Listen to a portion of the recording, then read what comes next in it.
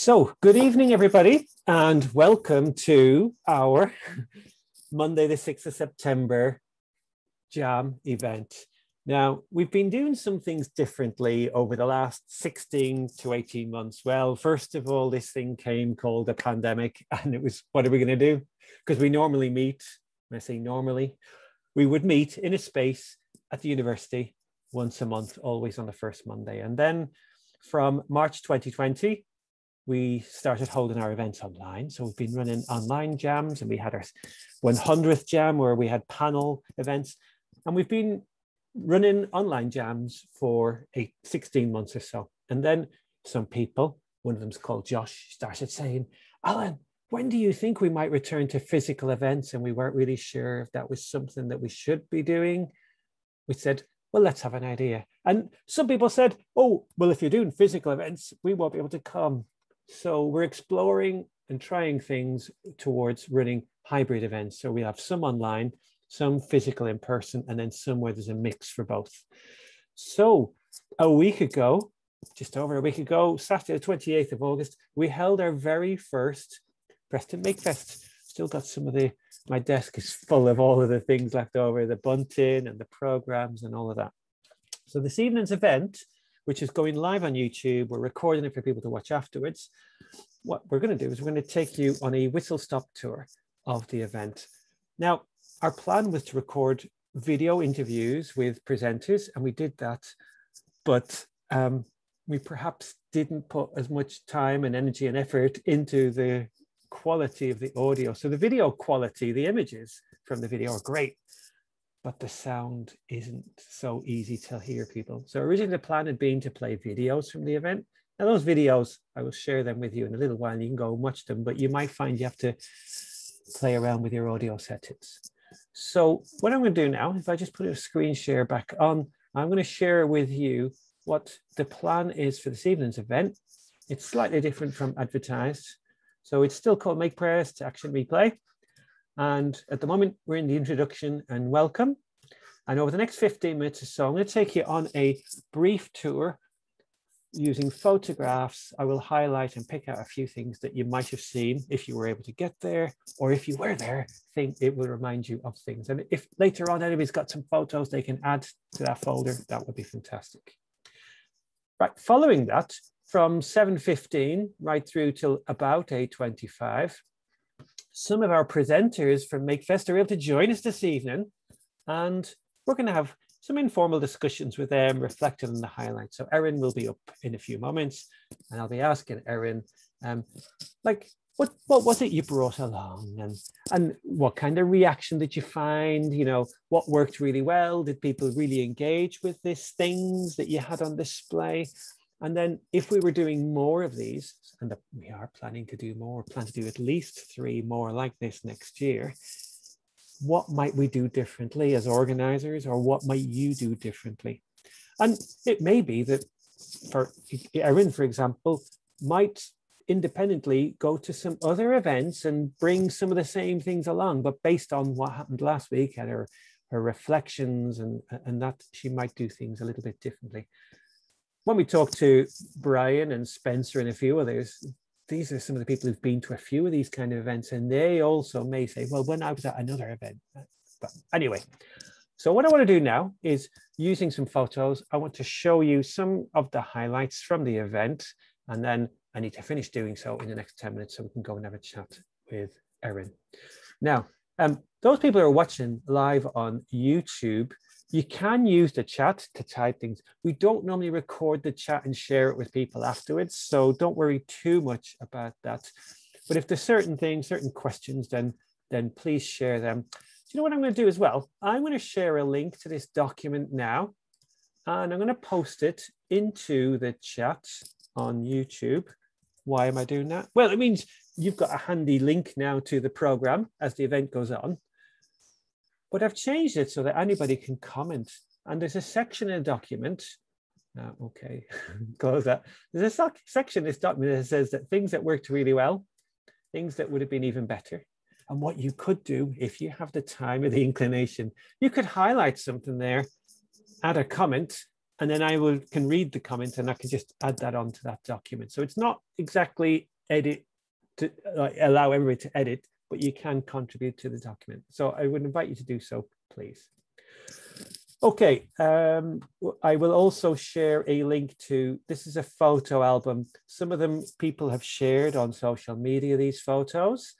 Some of them are photos I've taken and some of them are taken from the video. Now, each of the videos that we did record, we recorded about 10. I have uploaded them all to YouTube. I have made a playlist with them in and you can go and have a look. You heard what I said, the quality we tried using a Bluetooth microphone and it just didn't work very well at all. So I'm going to go into slideshow mode with this particular photo album now, and you're going to hear me narrate, uh, explain some of the things. So here we go. So welcome to our action replay of the MakeFest event, which happened in Preston in the city of Lancashire, County Lancashire on the 28th of August. So um, in the lead up to the event, we had an open call for anybody who would like to come and present to bring something along. And some people we had to kind of nudge them and twist their arms just a little bit because there were some people like like John, who we'll talk about later on, like, do you really want? Yes, we do. So um, we we had these programs printed, very nice they are too. Matt Moore helped with some of the artwork. And when people turned up, we put them into their hand and said, go explore, go have a look around. There's things on the first floor, things in the balcony, and do that. So um, you can find these images online if you go and look for them. Um, we also, we thought it'd be nice as we were given the opportunity to take over the Harris Museum. It will be being closed in a few months. They're, they're refurbishing it all. It's probably going to take a few years. So we had some bunting made and we strung that around all over the place to give it that flavor. And um, and uh, uh, we were able to stick it. The, the, staff were really, really kind of positive and welcoming that they allowed us to do that. We got a little bit of coverage in the Evening Post, who created a little bit of a media uproar when they they said, "Look at this R2D2 robot, which is going to appear," and of course. Uh, an army of geeks came along and said, "No, that, ladies and gentlemen, is a Dalek." But that was kind of nice because it, it meant people engaged. And sure enough, R2D2 did turn up what an amazing project that is. Now, if you talk to Darren, who made it, he will let on that it's probably taken about seven years to build this, but it is absolutely incredible. And what a crowd stopper it was. It was out on the flag market, it was moving around. And every time, well, it, it didn't move that much because the moment it did move, well, we'll come back to that in a moment, people wanted to pose for photos with it. So um, if you were ever organizing an event and you know somebody, so there's another group in Preston, they dress up as stormtroopers and in, in it'd be worth perhaps seeing if you get some people to volunteer to support your event in that kind of way. And it, it, just really helped. In the back of the photo, you can't quite see, but we had two absolutely wonderful STEM ambassadors, Linda and Stuart Shave, and they agreed to help us on, on, on the day and, and recruit people. We also uh, had a little bit of a plug on, on the local radio. That's something else I would suggest to anybody who's doing something like before. It was really nice uh, to do that. So as I mentioned, we, we adorned this gallery with our bunting wherever we could. Um, and we used masking tape. It was all paper based so that it, you know, it, it could be recycled or reused. And we just used some ribbon and masking tape to, to, to string that up. So uh, me go back a bit. So this bit here, this is known as the ring balcony. Um, a beautiful space, lots of ambient light, but not the best place to plug things in. So we were a bit, that was one of the things we struggled a little bit with. There's a gallery called Discover Preston, which tells a little bit about the history of Preston and um, Cromwell and all these kind of things. So we found in that space there was lots of power sockets. We used that. And then there was the ground floor cafe area, which is next to the library we thought we might see a lot of traffic. Now, the aim of this event was really to move out of the university for a day and say, hello, people of Lancashire, Preston, the world. This is us. This is what we do. Um, so in doing so, we strategically placed some of our exhibits and displays in places where there was a lot of footfall. So, um, so Erin and Rachel and Lara, they had a table set up over there and it was it was it was beautifully arranged it was decorated with all sorts of books to support learning a lot using microbit and erin who we will meet in a few moments had some projects there pretty much every time i went past I can't say it was absolutely packed because that probably wouldn't have helped too much. So we, we that's why we spread things out around. There was always groups there. And what was really lovely was watching the looks of engagement. We had some photographers who captured some really nice images of families engaging with that.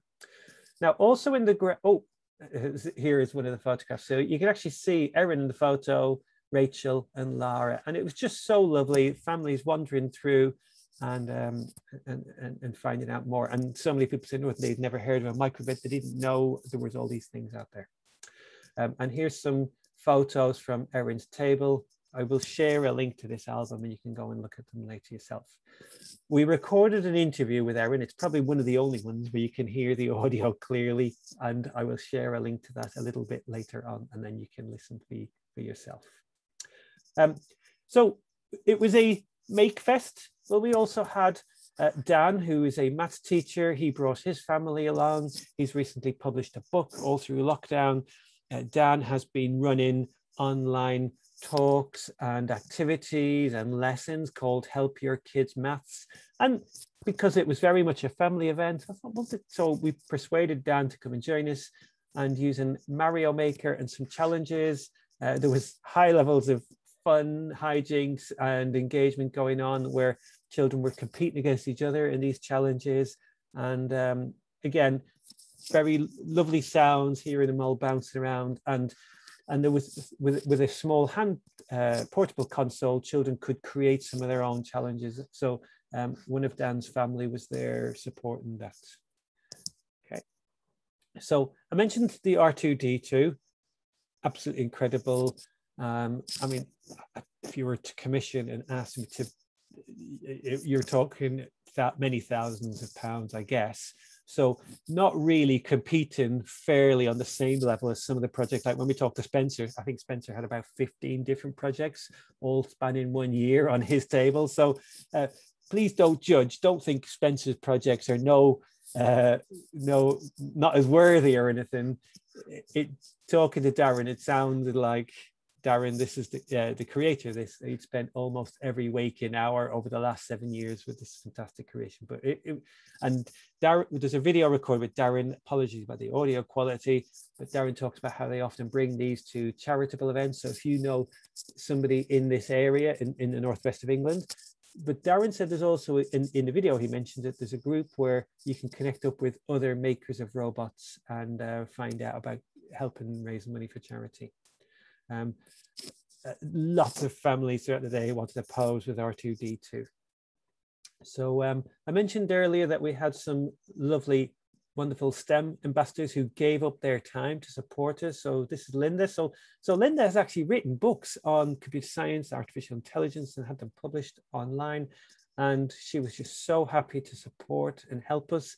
And um, people said she was doing a great job going out on the street, giving out programs, encouraging people to come in. So thanks to Linda and Stuart for stepping up and helping us with that. Now, um, one of the things we've missed through the lockdown is just chilling and hanging out with our friends. Uh, we've tried to incorporate a little bit of that into our breakout rooms when we run them. Um, but it was so lovely to see Heed. So we he, is his nickname. Michael lives over in Huddersfield, and he travelled over. And it, he was saying it's just so lovely. There's a little video interview where the audio isn't so great, and and we're just chatting, catching up on what people are doing, and it makes you realise how much face to face really does um, help uh, in, in some ways. And um, the, this photo here, I'm having a conversation with Rachel, and in the background, there's Garrick and Jasmine. Again, some people who volunteered to step in last minute and take some wonderful photos of the event. So it was just nice to see such a community uh, feel to the thing.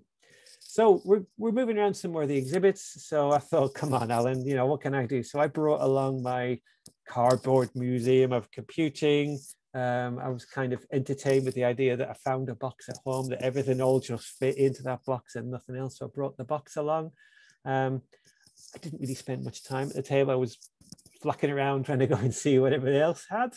Um, but people said that they'd seen the photos, they wanted to touch them and handle them. So uh, to, to an extent, we uh, allowed some of that.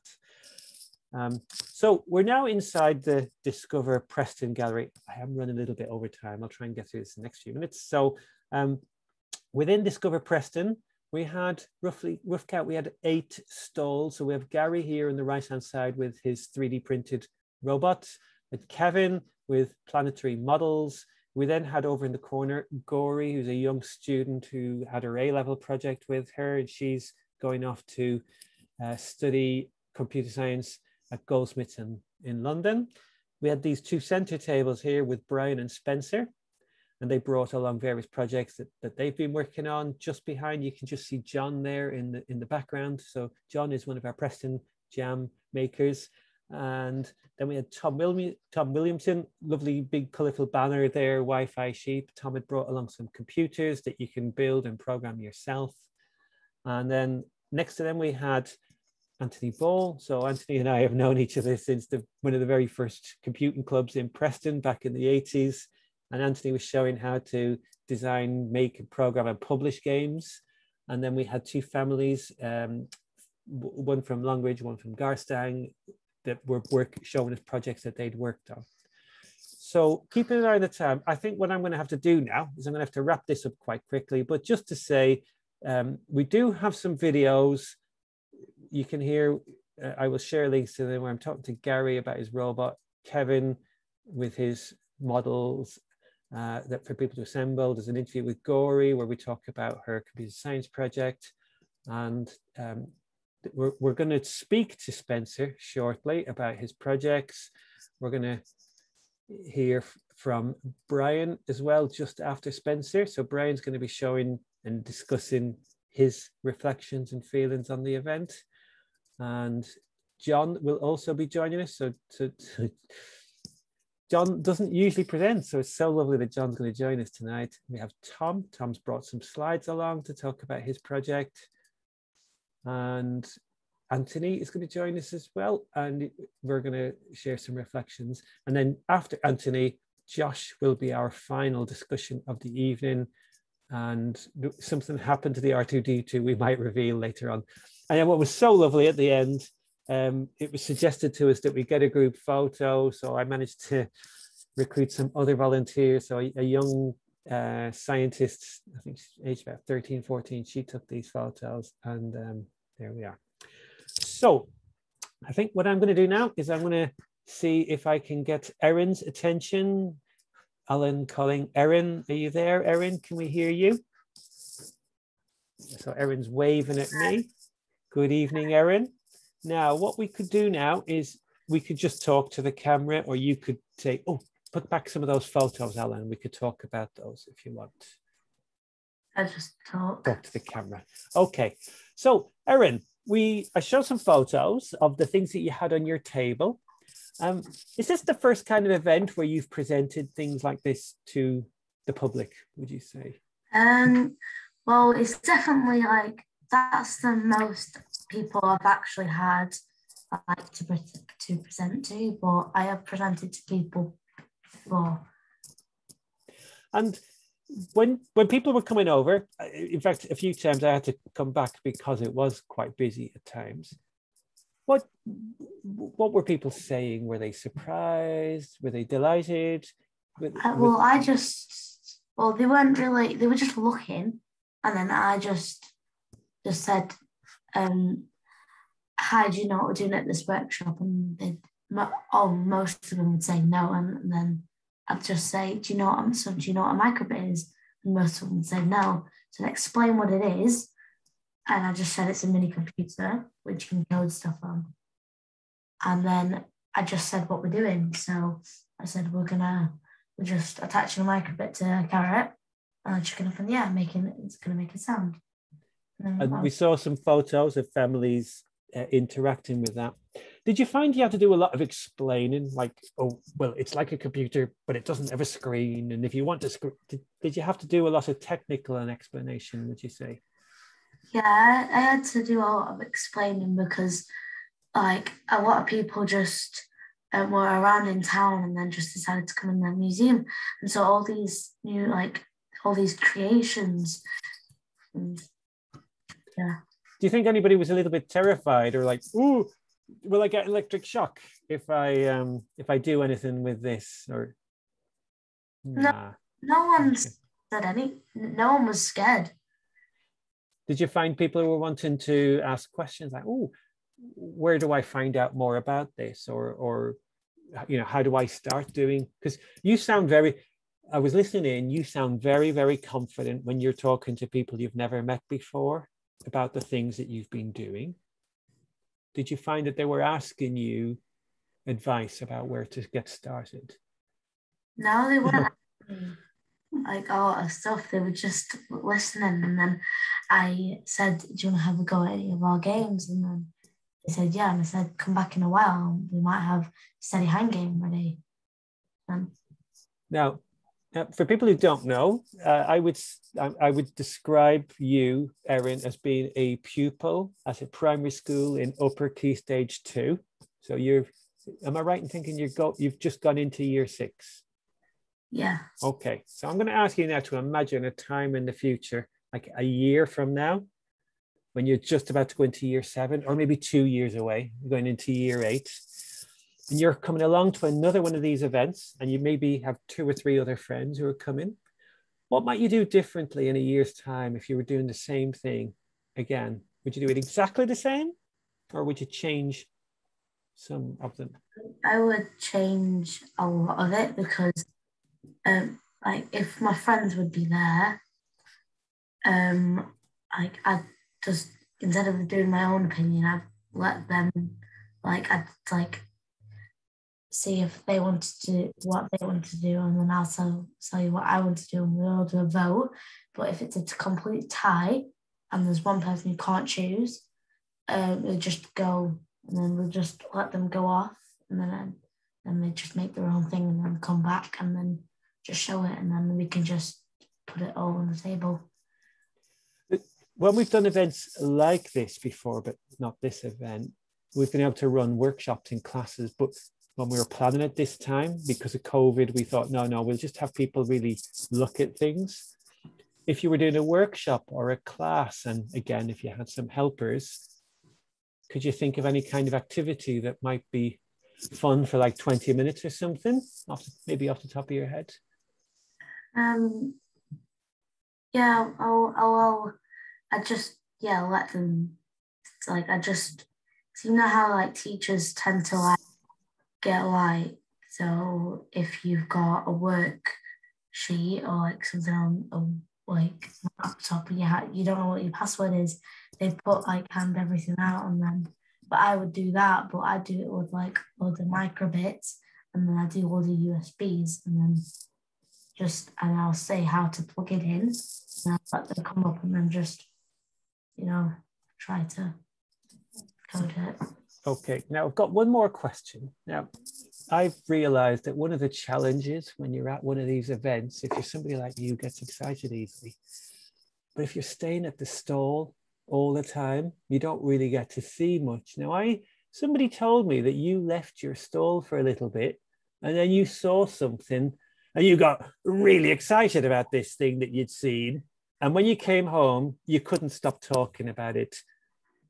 Are you prepared to tell us what it was that you saw and what happened afterwards? Well, I saw, um, I don't know what his name was. Was his name Brian, maybe? Yeah, his name yeah. was Brian. And then he had this remote control robot, and I just thought, oh, wow, that's actually really impressive. And now I'm thinking, oh, why don't I try and do that? So I'm going to try and do that. But instead of just a remote control robot, I'm going to make a motion sensor and like a light sensor and we're going to try and get a microbit which has a microphone in. So when I clap it, and I clap two times like this, maybe something will happen.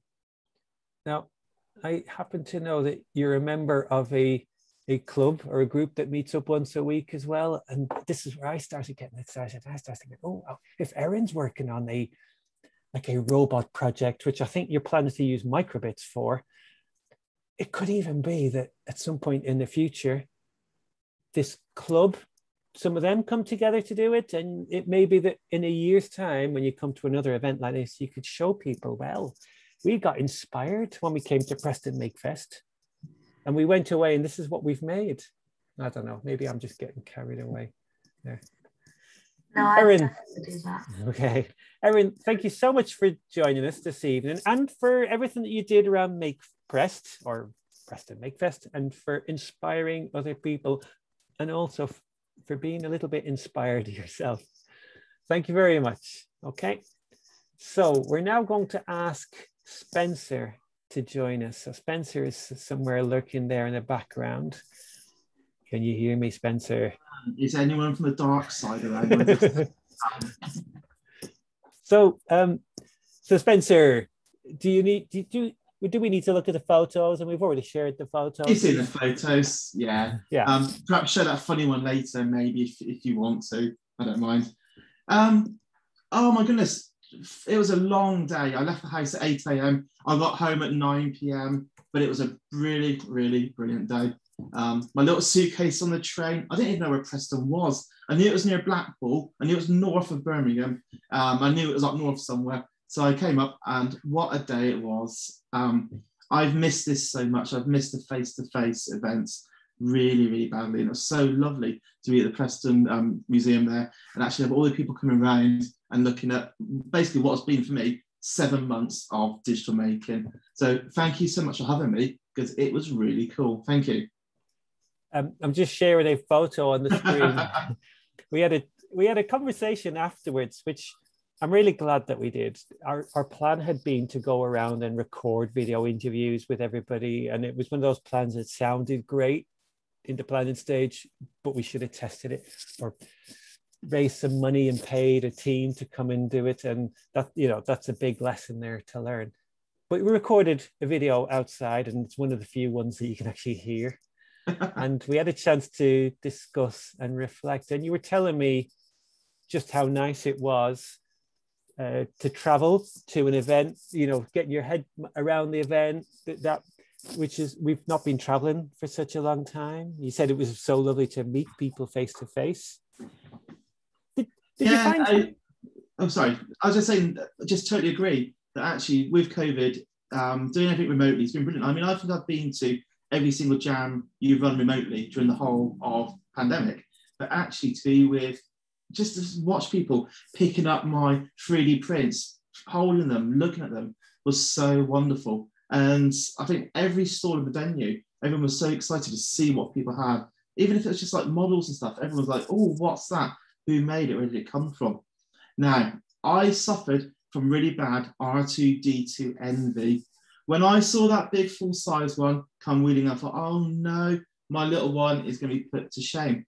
And I, I can forget his name, the guy who made it. Um, Darren Paulson? Darren. Darren was so lovely when he said to me, no, no, no, it's not about size. You know, you could still make a smaller one and still be part of the R2D2 club. And that was really kind of quite cool, actually. Now, if I play some sound effects, will you get a copyright content strike on YouTube? Or is that going to be okay? we, we might have to blurt out some of the obvious things if we can. Okay. Well, I'm, I'm just going to hit um, run on my terminal just for a second.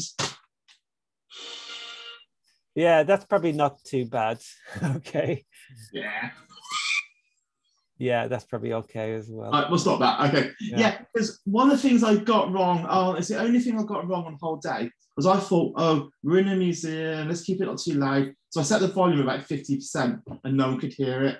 So we spent the whole day singing away, playing the music, and it didn't hear anything, apart from if you put your ear right next to it. So that was that was my take home is make it loud, make it loud. Well, I don't know if it's any consolation. Just let me share another photo. Um, the multi-million pound R2D2 that Darren brought along that's taken seven years, it did had a it did have a mishap. Did you hear what happened? No, I didn't. What happened? Well, as I'm sure you know, R2D2's head can pivot, and there's a worm and worm wheel. Uh, no, it's a rack and pinion mechanism that, that is used to rotate. And apparently, this R2D2 couldn't thought he'd seen himself at a distance or a much smaller version and turned its head so far it actually untwisted there's a wiring loom inside and it ripped the wires off and it lost Oh no. it meant it lost all communications it could the, the bottom half could still move around uh, not literally half but the, the bottom section and uh, which meant we got to have a look inside the R2D2 to see how it was constructed. Um, there was another photo there. We just got a, a bit of a closer look, um, which is a bit of a shame um, in, in, a way. I mean, I, I, I, got the impression that Darren would be able to fi fix it quite easily. Now, something really exciting came out at the end of the day for me um, as I was traveling back on the train back to Birmingham New Street. And I've been making projects, almost one project every month for the last two, three years. And I all my projects are 3D printed. Mostly got Raspberry Pis and microbits, Arduinos. And I've made a decision and I'm going to make a 1 16th scale proper motorized R2D2. So my project for the next 18 months, maybe two years, it's going to be 100% 3D printed. Um, it's going to work, it's going to move around, and hopefully in MakeFest 2023, I should be able to bring it up and we'll have it scooting around next to the big one. So I've actually come away from um, the MakeFest actually inspired to do a new project for myself, which wow. I'm chuffed about. So thank you. My wife's not, mm, she's a bit, okay. We, we agreed on 116th because it wasn't too big and it wasn't too small. Um, Spencer, you and I, we've met at some other events like MakeFest, Cambridge, we've met at some. Um, I, I, have met you also at Birmingham at, at some Raspberry Jam themed mm-hmm. events. Based on what you've seen and, and what happened in Preston, if we were running three more like this in 2022, can you think of things that you think would have made the event even better?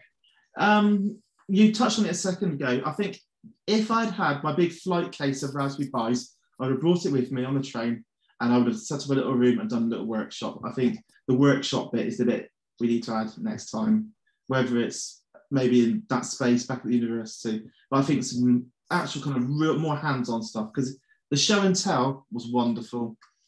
But I think people wanted things to play with. What can I what can I play with more? Because there was a lot of great stuff to see, but perhaps more to actually kind of play with and experience. And I think Erin said the same thing a bit but the microbit as well. Yeah, so I agree. I, I, I feel more comfortable with an event if we are putting on a a workshop or it's hands-on that people can get involved in. But um, the issue was when we were planning this event, the COVID restrictions oh, were still in place, and it was no, no, and it was, we were trying to figure out how we would cope with all of the social distancing and and all of that. And, and also, I, I think though, Alan, I think the genie is out of the bottle now. no, I, I keep saying this. Two years ago, we couldn't live stream events. Oh, that was too difficult. But now we know that we can run an in person event, we can do a Zoom event, stream to YouTube. And I think we need to do a big Alan style mashup of mashing up the physical event with an online kind of stream of it as well, or much more interactive. Because I'd love to come to Preston. It was, it was a five hour round trip. So if I could have zoomed in from Birmingham and said, hey, look at my projects from here, and we showed it in Preston, that would be really cool. Because I think, particularly in the evening style events, it's too far to come from Birmingham after school, but I think the hybrid event is definitely going to be one of the things moving forwards. Yeah, yeah, I think as well, one of the tricky things, if you were presenting a workshop, you wouldn't then be able to bring your suitcase of all of your projects to put on display. Um, but not everybody's comfortable running workshops. Uh, not everybody, like myself included, I, I don't normally have things to put on display. It just so happened I started building things out cardboard, and which was a bit unusual. Spencer, once again, thank you for everything. Thank you for traveling up. Thank you for your uh, support in, in everywhere. I know you've been tweeting about it lots and sharing things on mm-hmm. social media. And um, we won't require you to attend any all of the of them. Obviously, distance is a bit of an issue, and we're trying to reduce the amount of travel that we do. But it would be so lovely if you can join in, particularly with the hybrid ones in future. Oh, and, and for audience watching at home, Spencer and I had a good long conversation, which we recorded a lot of it. I'll share the link later. And um, considering, you know, how is it, you know, if we'd been at that event and we'd had some kind of fixed spot, could we invite people in to, to present to the camera and audience at home and in person could watch at the same time. Right. Thank you, Spencer. that's Cool. you off the hook now. And if I'm right, I think it's Brian we're going to next. Uh, I think I might have to go and hunt Brian down. I think Brian is lurking in our green room at the moment. So um, let me just go and see if Brian's ready there to join us. So um, I did say before I was going to share some links to the video, and um, I think uh, all of the videos. I, if if I don't do it during tonight's event, I will in- include it in the description. I've decided not to publicly share them on YouTube because the quality isn't the best. Um, but you when once you get the link, you will be able to watch um, all of the videos. Brian, can we Hi. hear you? Yes. Wow, what a what a, an interesting background you've got behind you there. You, I can see all sorts of colors and contraptions. Have you tidied up especially for our event this evening? Uh, no, it's a mess at the moment. It's just in the back. It's just because it's far away. You're Um, saying it's a mess. Mm, Oh, it, it, it, it- it's a mess. So it's. Uh, I think- It does look pretty. Oh, oh, we can see the floor now. Oh, and all the little drawers on. Wow. I think we've got a new feature here for future online jams inside your workspace. How tidy it is. That looks amazing. It. I can see a timber ceiling. Is that? Are you in an outbuilding? Yeah, I mean, I'm, I'm in a garden. Well, uh, a cabin. So yeah, away from the house. So it's it, it, it's my toy room. It's where I come to play. And does it get cold in the winter? Uh, no, it's fully insulated, so it, it's actually one of the warmest places in the house when all the computers and screens and everything's on. I thought you would tell me you got a stack of original Raspberry Pis. You just switch them on, get them doing complex calculations, and it soon warms up in there. Um, there's quite a few Pis in here, but most of the time they're switched off. Now, Brian, if there was a prize for the furthest travelled to make Preston, I think the prize would have been the Corteil family because it wasn't just yourself. You you, you brought other members along, and you've travelled from Cambridge. Is that right?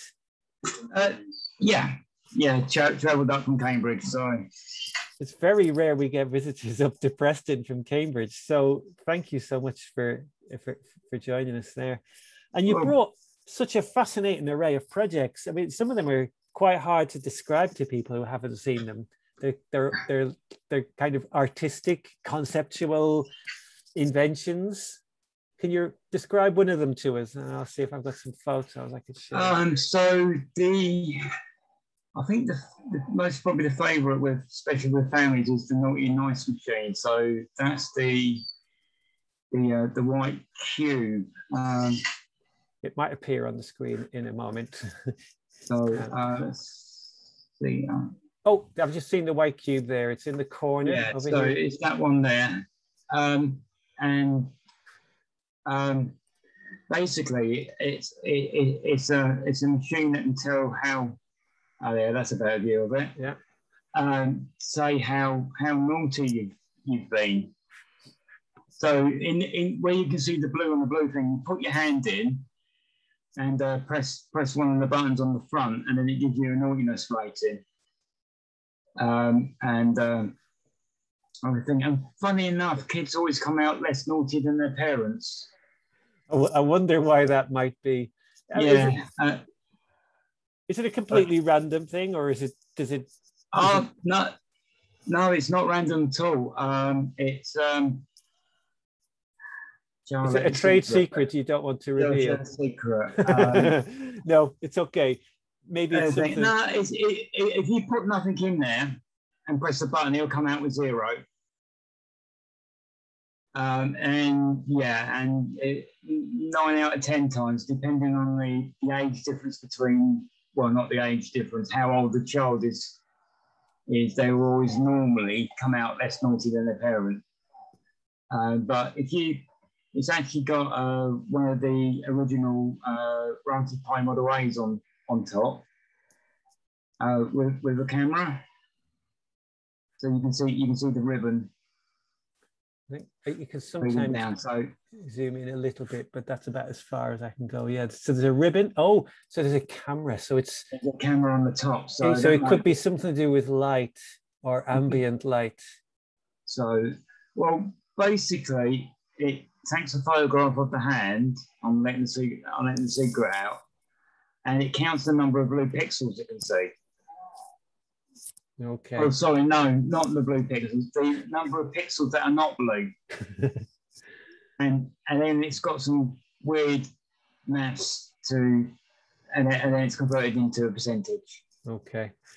Now you had a whole interesting array of robots as well, and this one here, this is a robot in progress, isn't it? Um, Yes, that's that's Doofus. It's based on the uh, the Raspberry Pi mascot. The Pi Wars Oh yeah, sorry, the mascot. Wars Yeah, mascot. yeah. Um, Just so we don't get sued by any other companies in uh, Cambridge that say we're trying to misappropriate their logo or anything.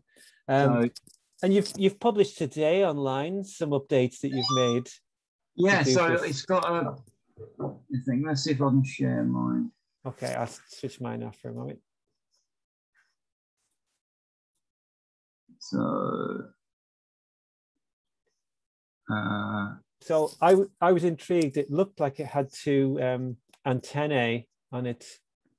oh, going the wrong way. Yeah, don't worry. And then we'll have a little bit of a chat about what That's do you think worked best in terms of the. So you can see that I, I decapitated him briefly. Oh. Um, and, and I've been fixing uh, neopixels behind his eyes, so they, they can glow. And he's uh, he's had a he's had an ear job as well, so the ears have been shortened. Um, So it does look a lot more friendly than the last time I saw it. so well, th- th- there is one to uh, put the fear of God into. Yeah. No, no, that doesn't look friendly at all. so the um the the, the white LEDs they they they just uh, been taken off uh, Poundland fairy lights back to fairy lights, and um, I don't think I took any of the thing there. There, there's a there's one of these old ears, um, and We did have another robot, um, much larger one, oh, humanoid, that yes, scared quite a few people. And I think it may have been the fact that it didn't have cute, friendly eyes like Doofus does. thing. I'm, I'm I'm hoping to put sort of like a cheesy smile across here as well. So the word So- doofus is one that comes up a lot in our house. I know it can be used to um, to criticize somebody. You might call them a doofus, but it's also I don't know if it's a Lancashire thing or not, but they used to refer to as the indeterminate gadget, the thing, the remote control, the doofus is the is the Oh yeah, the thingamy jig that the thingamy bob that does the job or or whatever. Is that is that a Cambridge thing as well? Do they people refer to Uh, doofus? I, I, I, I don't know why. I, I, I've heard it used in that, yeah. um, in in that way. Um, but it's more, more of a. It, it- it's just as what um, the, the Pi Wars people call call their mascot. Yeah. So, so the- logo. So And when, when I was working in schools, um, and some teachers would carry a USB storage uh, flash media on a lanyard around their neck, and they also referred to it as a doofus rather than calling it one of those other names. So, so, Brian, uh, um, it was it was quite a big trip. In fact, it involved an overnight stay for you and your family to come up Yeah. to Preston. Um, I d- daren't ask, was it worth it? because I mentioned there was a few words at home about, hmm, you know, Preston. Where is that? It's a long way up. Uh, well, mm, one, it, yes, it, it, it, it was worth it. Um, it was nice to, to actually meet people in in in flesh, um, and yeah, just to get you know, just to get uh, some like real reactions to to my projects. Well, Um, One of the aims of the event was to inspire and engage uh, others, particularly young people, to do things like this. And we already know from here in Erin that after she'd seen your robots, her head was just full of all sorts of ideas. And she, her mum's Right. been telling me now that she's like a thing possessed, like you know, thinking about how she's going to build this next, uh, her next project that she's going to work on, and all other projects now have, have gone on the shelf. So it, it definitely helped achieve that objective. You've been to a lot of other um, similar kind of festivals and events. Is there something you feel that, that we still got to consider in, including for future events that could be improved upon? Um,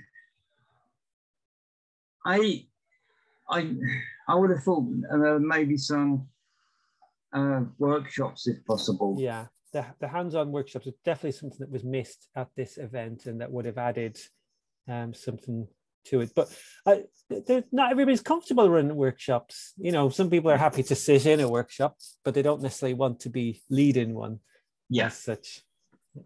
and I, and, and I, I suppose maybe having some things out outside to be able to attract and drag people in. Yeah, like an army of um, cyborgs Yeah. to round them up and uh, you know get them in the door. Yeah, that would be a really good Yeah. idea. I wonder if we can get we can get Gary printing some more robots in his in his living room. um, yeah, I, I, just so to, to draw to think, I, I, don't know where the, because I don't know Preston, it's saying where the footfall would be. Yeah, well, we Um, certainly the audience that were going in there, some of them were just going in to to, to pick up their library books, and they they Yeah. got a little bit more than they bargained for, thanks to thanks to you and everybody else. Brian, thank you so much for joining us as we Oh, talk okay. through our highlights of the jam. And if I'm right, I think the next person we go to is Tom. Have I got that right? Yep. So, um, so so Tom, thank you for joining us this evening as we reflect back on our highlights of Preston Make Fest. Thank you um, very much, Alan. If I'm correct, I think the first time we met in person was at a Stafford Raspberry Jam. It was. It wasn't actually. No, oh, okay. It was Star- close. Stourbridge. Oh my gosh, that's right. Stourbridge, and it was one. That was the very first time I showed up at a uh, One of these events. Yeah, twenty. I'm going to say 2014. I think Yeah, no, that would be correct. That's Yes. right. Yeah, we were at a high school there, um, Pedmore Technology College. That's right. Well, then I might have been correct in, when I said then the the last time. The last time we saw each other, yes, was Yes. yes. So um, that was the Keris is Keris organised the Raspberry Jam, and I believe she's got another one on next week, which sadly I can't get to at the library in Yes. Stafford. Yes. Yeah. So Tom, you have your own YouTube channel, and on that channel, you have been demonstrating these amazing little computers. Can you just spend? Oh, you've got some slides that you. I've got some show. slides, so we'll try. We'll run Let's through my. that. Yes. Yes. I, I came prepared, everybody. You did. What are you saying, Tom? You're saying I wasn't prepared. so let's see now.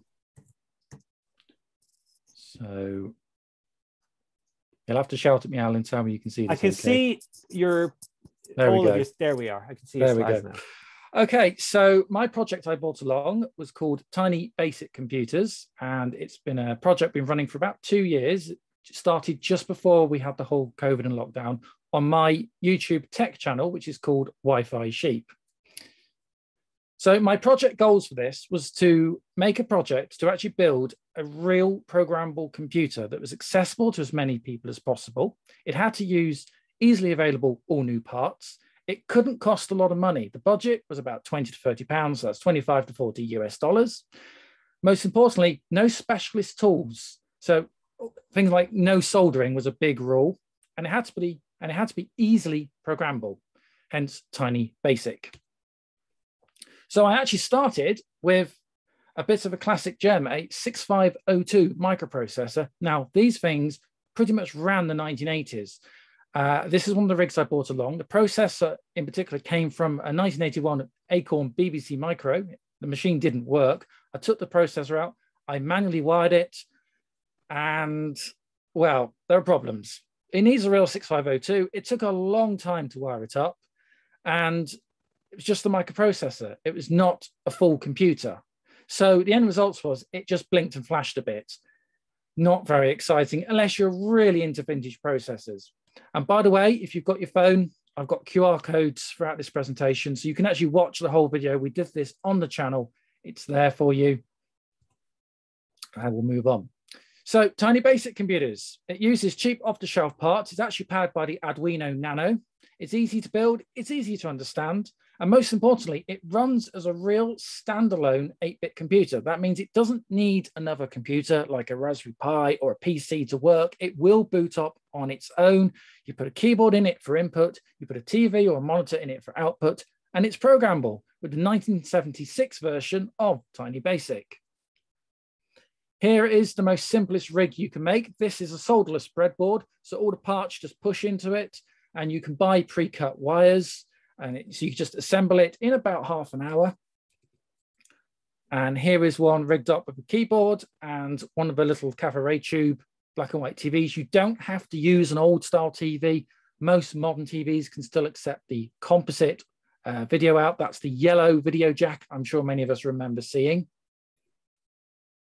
Now, the biggest problem with computer kits is that you get diagrams that look like this. This is the schematic for the tiny basic computer. But unless you're an engineer, stuff like this looks pretty scary. But if I took that and I showed you this diagram, I had these printouts at Preston on the day, and I said, could you actually build that? That diagram and that diagram are of the same computer. And I say to people, could you actually build that? Even if you didn't know what the parts did, most people said, yes, they reckon they could. And there we are. There's actually a real version built from that diagram. So some links for you. The video series, this is building the whole thing, multiple videos online for free on our Tiny Basic Computers playlist. And we also have a Facebook group, and this is where you can download the hex ROM files. These are the bits of code you need to upload to the Arduino Nanos to make the uh, basic work. So it's the video terminal and the basic interpreter. Uh, it's all free. It's all there for you. There's QR tags and there's the links on screen right now.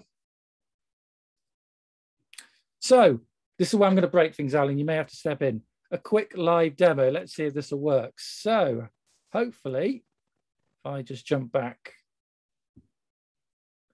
All looking good so far. Tom. I've lost. I've lost my. Oh, hang on. Don't worry. Let's stop sharing. There we go. Okay, so hopefully, if I jump to video two, you should see the command prompt on screen. So this is actually one of the systems that is actually running at the moment. It's coming through a capture card and it's live. So if I hit reset, we can actually reset and it comes up. Now let's ask for some memory. So I can type MEM for memory, and it'll show you how much memory it has in the system. Now you see it says 1019, that's bytes. So 1024 is usually 1K of RAM, and you need 1000K to make a megabyte. So we are dealing with very small amounts of memory here, but it is possible to do something with the machine. Now I have a piece of code already preloaded into the machine. So if I type E load, and I type list, there is a really small basic program, old school basic. It starts at one, then it jumps to 10, goes 20, 30, 40, and 50. If I now type run, you can see it just prints and counts random numbers. So it's a very simple program, but it's running on a real computer that I built out of bits, mostly powered by Arduino Nanos, including generating the video signal you're seeing on the screen. Obviously, if I'm running a looping program, I'm locked out, but I can hit escape and it breaks the program and we could list again if we wanted. Now, let's go back to presentation.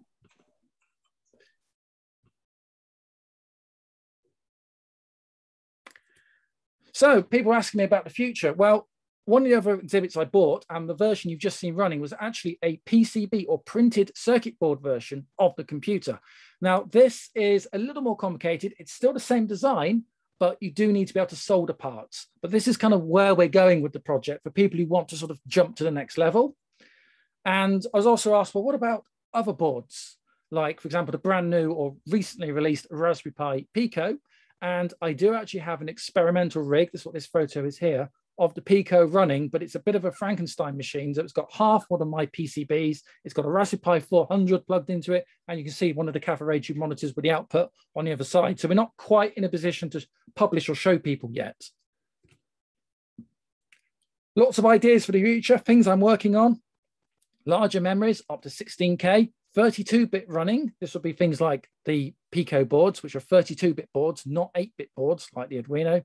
Bitmap modes, graphics, high resolution color, VGA, removable storage, SD cards, real-time operating systems, multiple language support, not just basic, mouse and GUI, so that's click and point type systems. It might even be possible to get an early version of Windows to boot on a future system.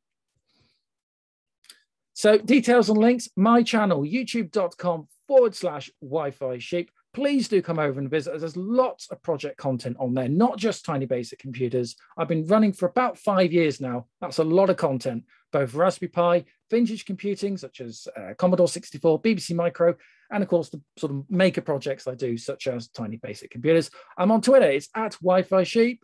And for those of you that feel particularly uh, generous, I do have a Patreon which you can join. And we do have some exclusive content and toolkit download content as part of our Tiny Basic Computers project. And that's from our $3 uh, or £2 a month tier. That's over at patreon.com forward slash Wi Fi sheep. If I've got time, Alan, just a cheeky little one. Uh, shows coming up. Now, when I came to Preston, I honestly thought the Preston Make Fest was going to be the only event this year due to COVID. And then all of a sudden, all these other shows exploded. So We've already talked about Stafford Pi Jam, which is Keris Lock's event. Uh, so I'm there from Tuesday 14th. Back in Cambridge, the Retro Computing Festival 2021, that's at the Centre for Computing History, has announced they are running, and I am going to be there as an exhibitor.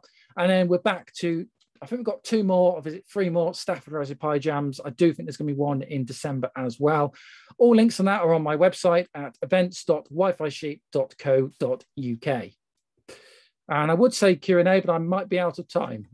We we we do have Anthony next, but we just we can. I'm okay Anthony for a minute or two. Yes.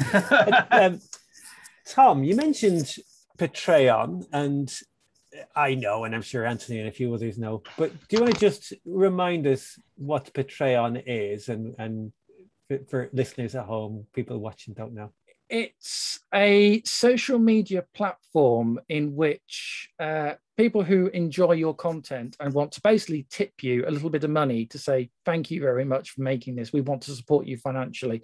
What you need to understand is Wi Fi Sheep is quite a big part of my job. So my living is made from what I do here. So there's always a bit of a commercial element going on. And basically, people can tip a dollar, two dollars. It's normally in US dollars, but it does transfer to euros and pounds depending where you are in the world. And for that, you support me. So I say thank you very much. And in return, I give you links to downloadable content. So Wi-Fi Sheep has about 30 videos that are in a private uh, playlist. And there's also downloadable content such as BBC Micro programs, uh, 3D print items, and we have a toolkit for Tiny Basic, which includes a bundle of software to make the system work. So for uh, non-techie people, it's it's like the equivalent of your busking in the street. Yes. That anybody can listen to yes. for free. Yes. You've yes. got your hat there. I got the and, hat there. And, and people put things in the hat, they get that. Oh, you stop, you go, oh, thank you very much, person. He's just tipped me. But oh, then you get way, an, then you get an exclusive piece of music. Yes, at the same time. that's kind of how it that works. works really yeah. nicely. Um, and that's that's why Tom, you know, it's nice to hear. We're, we're not saying you have to do these things, but these, you know, they're out there if people feel that they want to support and, yes. and contribute. Yeah. Um, thank you very much. Um, and I'll just repeat Tom did mention his wife, his YouTube channel. It was it was on there. Tom might even go over to YouTube now in the chat, and he might just put another link to that. Put in, in there, but youtube.com forward slash Wi-Fi sheep or one okay. word. And Tom, thank you so much for joining us. Now we're going to move to Anthony. Actually, can I just show Tom yeah. what I've been working on? Please do. Here you go, Tom. I've been working on something as well. That's that uses oh. the Pico Pi yeah. And I'm also doing a Risk Five based. Okay, yeah. An FPGA yeah. on the side. Oh, no, that's yeah. That's the kind of ballpark we're getting into eventually. That's really cool. Thanks for showing yeah, us so, that. I really don't know where you people find the time for these kind of projects. Anthony was mentioning early on a code club that you do at a primary school. Uh, Oh, yeah, in Grimsby um, before. Yeah, I'll, well, I can't mention the name because I don't know if I'm Well, allowed. we might not mention the name of the school, but we can say anybody Yes, who knows Grimsby four, will five, know. six, uh, but it's been off for the last, I don't know now, 18 months because Yeah. of COVID. Um, so, And there's, I mean, there are code clubs in other schools. It was just there, there was a bit of chatter going on in the green room Yeah, before, yeah. and you mentioned that you you support the code club at a primary school in Grimsargh. yeah.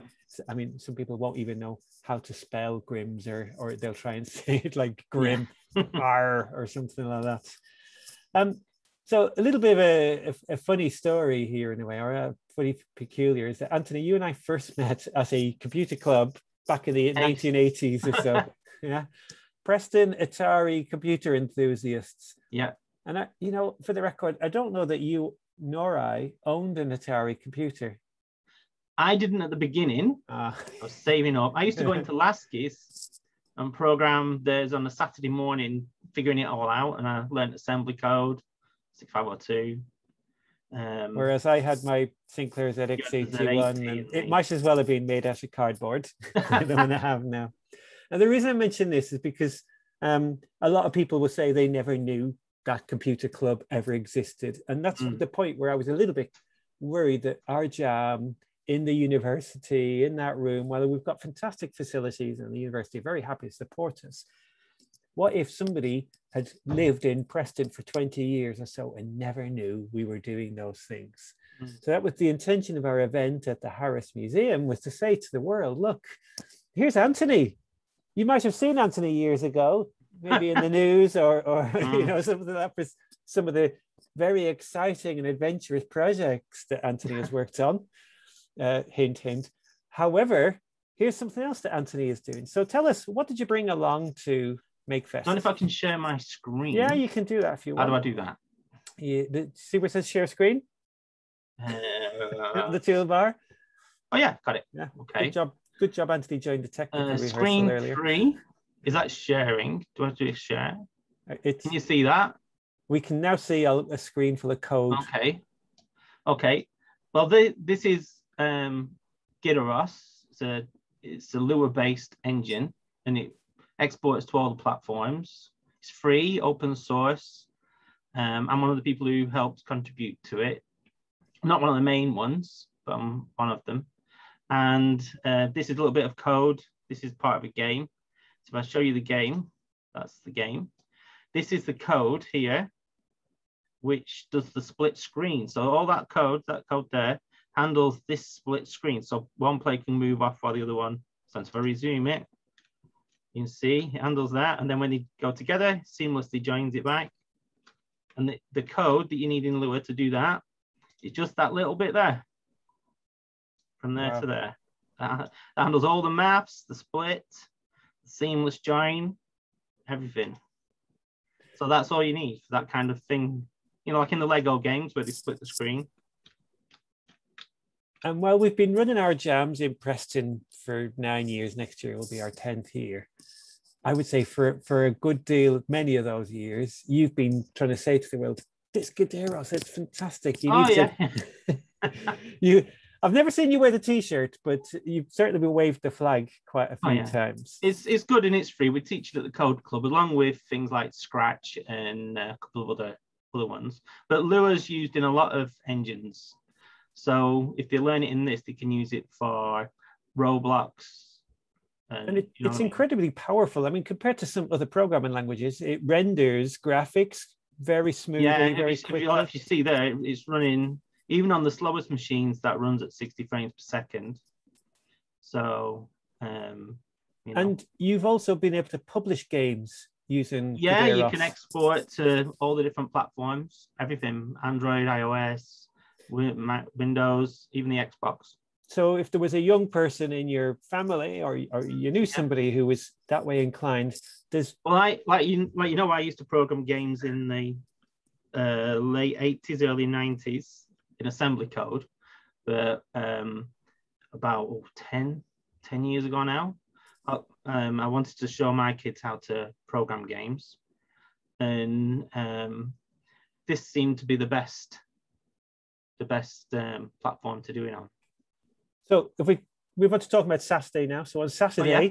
You brought a you had a short Can I stop projector. sharing my screen? How do if I you, stop if you sharing my wish, screen? yeah, just click I where it says no idea. click on the share screen thing, or I can. Uh, It's can- gone. oh, there it is. Don't worry, um, it's fine because we can see it at the same All time. right. It's relevant. Yeah. Okay. So on on Saturday last week, Saturday twenty eighth, you had a you had one of your games running on on on a, on a Yeah, large it was this screen. one and a couple of other ones. So I And-.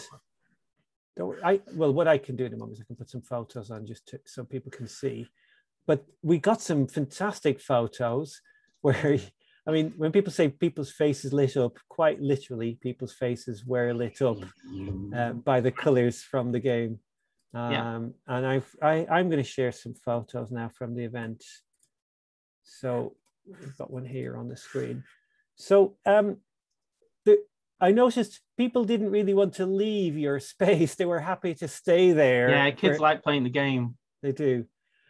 Do you think that's a bad thing? Ash, though, you know, Rockford, that game. Do you It- think- with some new ideas? Do you think them wanting to stay and play the game kind of defeated your purpose in being there? Uh, yeah, I think the different events would be better if we had some workshops. I think if you if you did it, say at the university, if the university give you some space, and um, you could use their rooms because you need the computers, and um, you have you have the presentation stuff there and everything else, which would make things a lot better. Um, you could do some workshops. I think if you did it over two days as well, I think it'd be better rather than one day. That way, people who have to travel a long distance, it's not uh, just one day that again they could get there, and it's more worthwhile for them to travel that distance. But if we reflect back on what was the theme of, or what was the purpose of Make Fest, Preston Make Fest, it was to show people you can do these things. Oh yeah, Not to show them necessarily how to do them. Hmm. And in that photo there, I think I can zoom in just a little bit. I- I- You had one screen was showing here's the code, yeah, like the engine, and then Yeah. on the on this yeah. And I was showing people, say for example, you want to change the level up, you change the level that you start at and the graphics of the level on the computer, and how many lives you've got, how many credits you've got, and things. It's just a variable in the program. So And you did create a little bit of a problem for us because it was hard for people to get past. Yeah. so there was Yeah. this crowd of people to watch. And I think part of that as well, maybe in the fact that you had the, the, the projector. I thought that was a Mm. really good idea. Where if you just had two small screens, it- yeah, would- I don't think it- would have been as, as you good. know. So it was it- in some ways it was almost as attractive as the R2D2 because you had something enormous that people could relate to. You don't often see games on, on, on such a large screen. So anybody else going to a festival like that, although it did for us as the organizers cause a little bit of a problem because it meant we had to darken the room because Anthony needed the Oh, yeah. room to be darker. Um, here's George. He was there. yeah. Hello, George. Yeah, we've seen you in the photos. We've- He's, he's. Did you did you beat your dad at the game? Um, no. You No. know, you know what? He it's lets into George's this- voice who's who's The the, zombie saying brains and stuff in the games, and he helped influence the game. That's that's the good thing. You can. Um, I do these games kind of for fun, really. So and there know. was there was one where we've got Lucy's voice in. Is what rhymes with purple? That was another. Oh, one, right, with Martians. Oh, We couldn't think of what the a name for the game, and there was Martians in it. We couldn't find anything that rhymed with the word Martian, so just That decided to lends call that game "What Rhymes that. Martians." Um, Anthony, that's brilliant. Thank you so much for supporting Okay. our event. Thank you for bringing something that drew in the crowds. And um, hopefully, at a future event, we can have some workshops where people can explore the potential of yeah, if Gideros any, like I said, if anyone wants to learn to Yeah. program Lua, if they go to Gideros, the forums is they're really helpful and and it's a dead easy le- uh, language to learn. Like we teach it year five and six at primary school, Wow. so it's That's really brilliant. easy. It's, it's kind of like Python, but easier and faster. Okay. So thank you very much, Anthony right. and George. Bye. Hope to see you at our events in the future. Okay. Now we've got just two more people who who I think are going to join us this evening, if we got it right. Um, I'm looking for our next one, John, and um, I think John may be in the green room at the moment, so I might have to see if I can move John into the main session if he's still there. John can probably hear me around about now if that's working. If not, we might just jump to Josh as our next one. Um, while I'm waiting for John to join us, let me remind you of a few things. So we are reflecting and reviewing. Oh, here's John. John has now. Um, are you there, John? You are muted at the moment. We can see a lovely colored pattern of lights on your screen, on your camera. Alan, Yes. Right. There's a there's an interesting part of the pattern on the bottom set of lights. Those that have done arithmetic, see if they can spot the Ah, pattern. is it to do with a very kind of rudimentary system for counting? Something to do like that, Hmm. So- It's possible I've either got it or I haven't got it. go on. Like, is it true or false, perhaps? Well, each light represents something being one and off. Now, if you notice the right-hand side, don't if you can, uh, if I can, you can see, you've got three, two, oh, one, gone out, gone Yeah. out, going out, bang, a lot more on. So, So it's reversing, it's counting backwards in binary. yes, it's Ah. counting backwards in binary. So it's a one. So it'll always it'll always finish with the very last light on the right hand side, which is also known as the least significant bit. Correct. Ah, okay. So, John, so this Well- was one of the projects that you brought along to our MakeFest event on on Saturday, twenty eighth of August. And it's something that I imagine members of the public would look at it, and if you told them this was a computer, they might even get into an argument with you and say that's not a computer. Was that the case? Um, actually, they were just looking at the lights, see the lights. Um, and yes, basically, I was telling them that uh, many, many years ago, I could even say previous millennium, computers, um, when you, you tried, started a computer, it didn't just you put the power on and it works, was working away. You had to do extra bits and pieces. So you see all these little buttons here. Yep. Toggle You can- switches. Yeah, the toggle switches there. You can use those to set up an address in the computer. You can then put information at that address, again using these toggle switches. And then you can go to the next address, next piece of data. And eventually you'll have a small program which can be then used to run something like a paper tape. Ah, So, so you can pull the paper tape through. You've spotted here one of the problems with paper tape, they keep falling down. And basically you can put the program, um, load the program which leads the paper, which starts the paper tape reader up, and then the paper tape reader will then load the program into the computer. Um, which makes it things a bit easier by using paper tape. Um, unfortunately, so um, paper tape can be a bit, as you see, temperamental. yes. Yeah.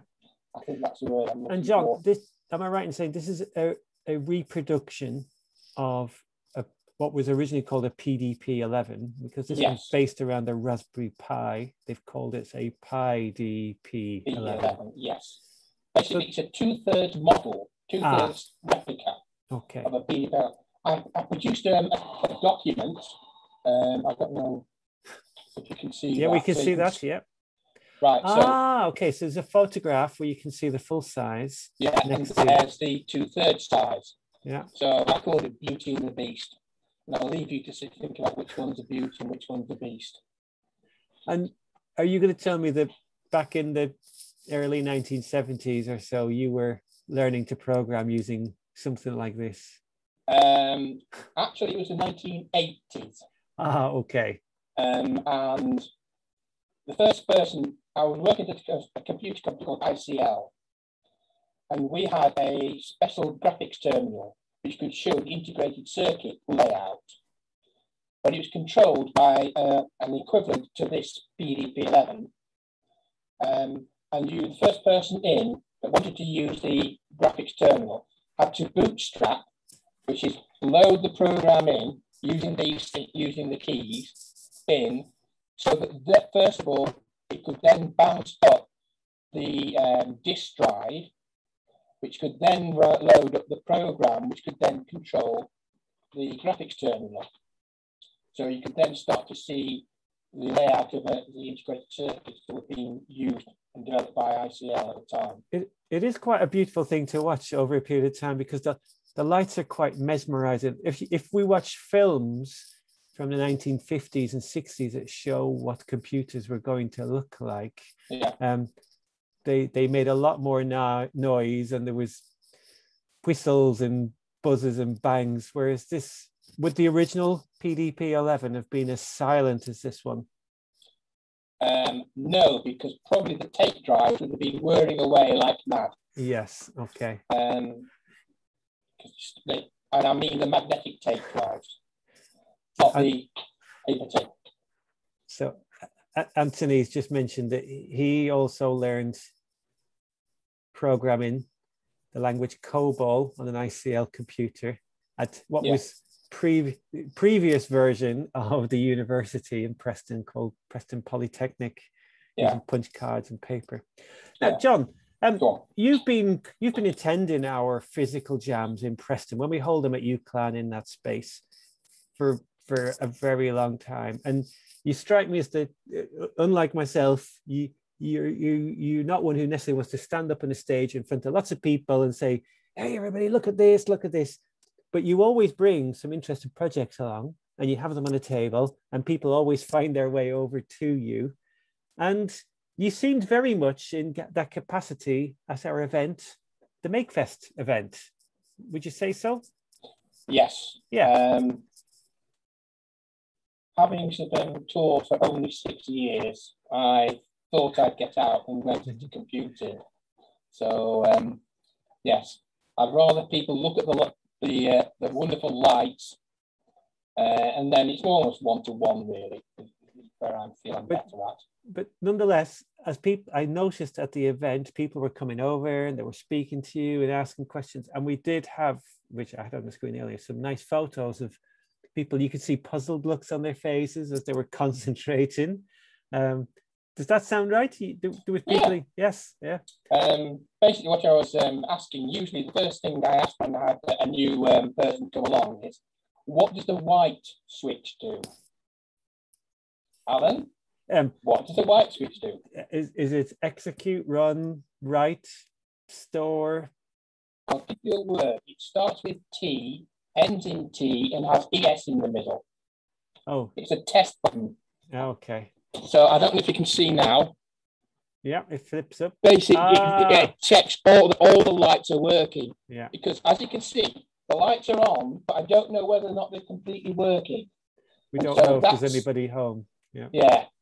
So that's what the test button was there for. And uh, I showed some people um, little LEDs that were that were used inside here, and um, I gave one or two away. So you might have people sort of building little light systems.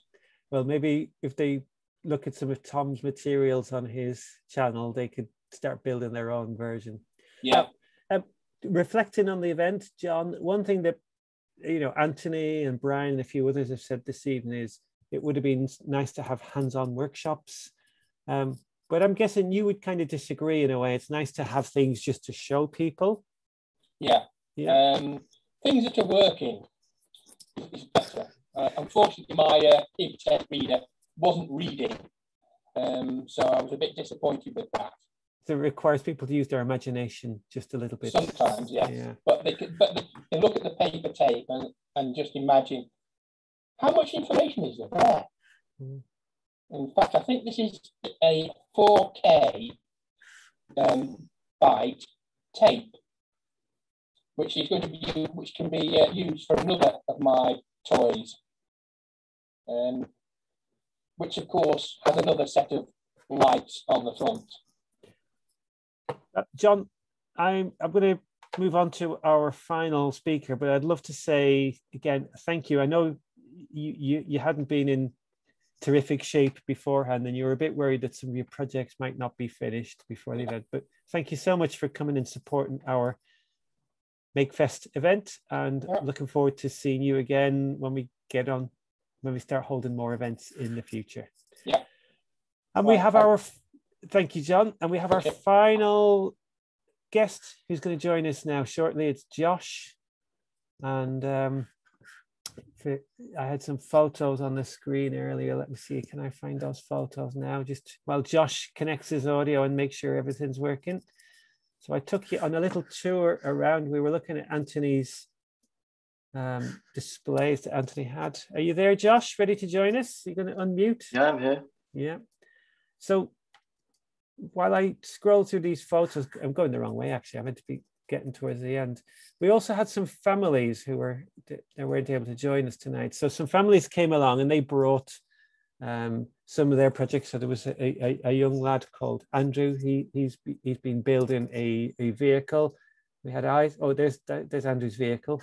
Uh, we had Isaac was building things in Minecraft. Um, Georgia, and um, going the wrong way there again.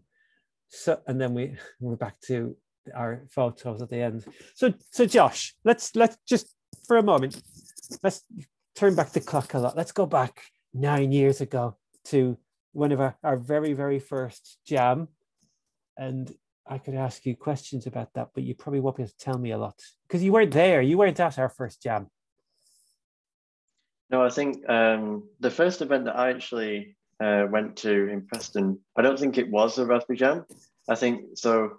Was it how many was it 2013 that uh, on a Saturday you ran I think it was once a month or something like that.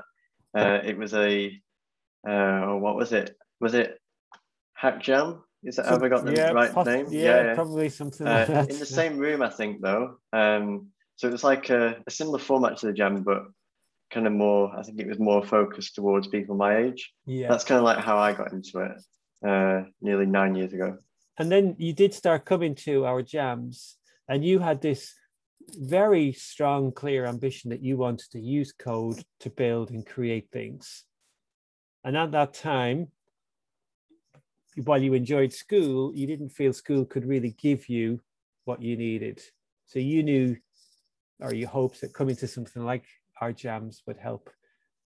Yeah i think um i think the, so the idea was like you know if if you're into football or tennis or something like that, then you know there are clubs that you can go to for those kind of things. But like those weren't really my interests. So uh, you know, I had a I had an interest in computers and messing about with uh, different things like that. Uh, and you know that was kind of the only thing that was up and running at the time. And I thought, oh well, um, it was actually my mum that found out about it through a colleague. Um, so I went along and then kind of it went from there. And nine years, it's still I'm still attending. Um, and yeah, I've learned lots. And Uh, so it's helped in some going. way. Oh yeah, it's helped massively. Yeah, um, I mean, like I don't think if if you know the hack jams and the raspberry jams didn't exist, I probably wouldn't know what a Raspberry Pi is, or you know, I probably wouldn't be doing what I am now. So I mean, it is quite incredible when we look back, we're not going to go into all of it now. But you, you, you have you, you, you have now started a career in software development recently. I'm going to say started. Well, you did actually start. The difference is you're on a salary now. You work for a company, and you're developing software for a company while you're working. Yes, am I correct? Yeah, yeah. So yeah. Um, I've been doing an apprenticeship for the past year, and that was kind of like. Um, so I spoke to a few people. Um, before the pandemic, a few months before, uh, I was trying to decide, oh, you know, do I go to college or do I look at a different path and see what the other options are? I decided that um, you know an apprenticeship might be the best way, and it turned out to be the the best option, especially with, I mean, obviously at the time when I uh, signed up to do an apprenticeship, I didn't know what the next 18 months had in store with the pandemic and stuff, but um, yeah, it definitely turned out to be the right decision. So we we um, just to mention people who don't know this, but Josh is you're now part of our planning and organizing group. So um, when the pandemic did come and we are having these conversations, well, what are we going to do? Are we going to stop running the jams? You, have been integral to to those planning discussions right from the onset, and I I think if I'm correct, when I said, do you know what, we should do something on a Saturday and get members of the public along, I had this impression that you had your head in your hands and you were no, I, I don't think this is going to work, Alan. So you're able to you're able to prove me wrong now. Yeah, you're able to say it was a stupid idea. No, no, it was a good idea. Um, I think I think one of the problems that we had was like, you know, what does what does the event in person look like at the minute? Obviously, you know, at the time when we were discussing, you know, the hybrid in person events or whatever it was, um, you know, we didn't know what the restrictions would be and that kind of thing. Um, but it turned out to be really good. You know, I think the, the venue obviously was a last minute change because of where we originally wanted to do it. Um, but I think it was a good idea to have it in the Harris because, you know, like many people mentioned this evening, you know, you get you get people in there who wouldn't necessarily come to an event at the university or um, a different venue where we normally run the jam. Uh, so yeah, I think it was a good decision to kind of get people who might have a, an interest, but you know, like me nine years ago, have an interest but don't know where to go to kind of meet other people who are interested in the same thing. And I mean, I think it'll be too early to to judge any outcomes or results as a, you know that somebody came and since attending Makefest has decided to, but but like just like yourself, perhaps in years to come, if we are doing more things like this, where we do go out and hold things more in the public, we may reach more young people and older people as well who who decide that this is something that they want to do. Was there anything in particular you felt was worked really well on the Saturday at the Harris? I mean, you, you have mentioned the fact that we're meeting people we wouldn't normally meet. So anything else that stood out for you, or we can just move on to talk about uh, no, I think I think probably the standout thing for me is someone who has been going to these events for you know the past nine years and stuff. It was quite a good opportunity to because obviously you know the Preston Makefest was one of the first events that had um, you know happened since all the events stopped last March.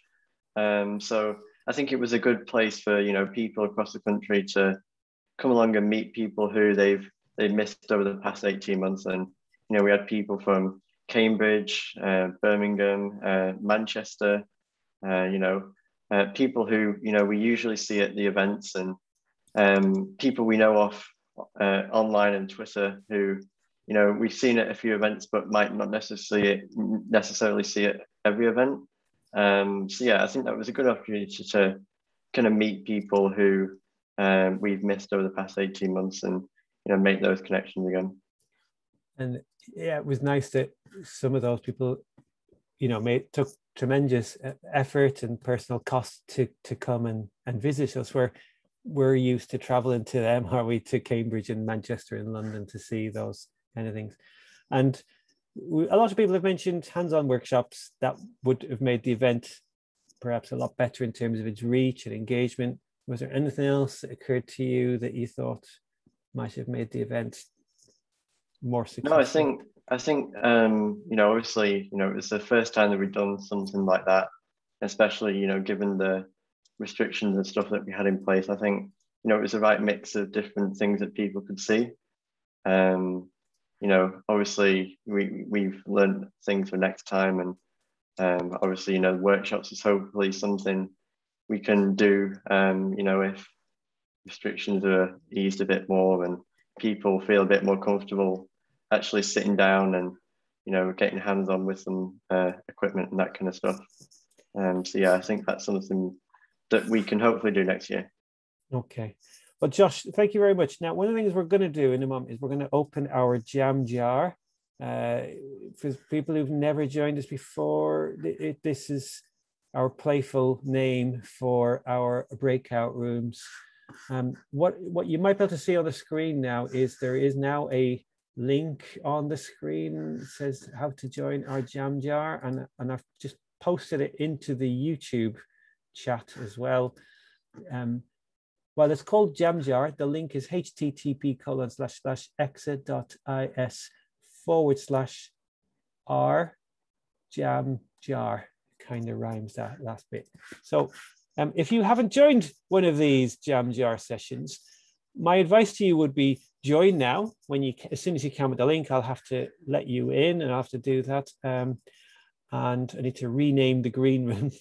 we'll have this main room here. I will stop the recording. I will stop. I will say goodbye to people on YouTube shortly. In fact, I'm going to stop the recording now. So let me just stop that. That will just take a moment. I feel like somebody else saying, "Where's the?"